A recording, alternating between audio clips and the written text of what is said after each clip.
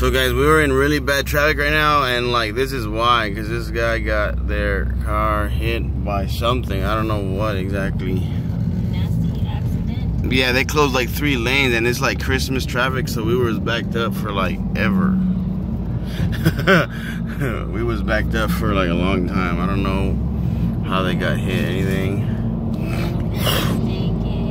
Look, this guy just peeled out. He went through, through the lines over there. Oh my god.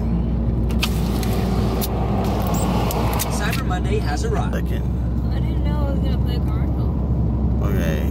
But yeah, um, finally made it past all the huge line of um, Doo doo. doo doo. And there's a cop. He's chasing somebody. I think the guy that went, that truck that went through the lines. How much you want to bet?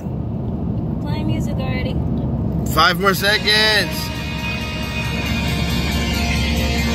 There he goes.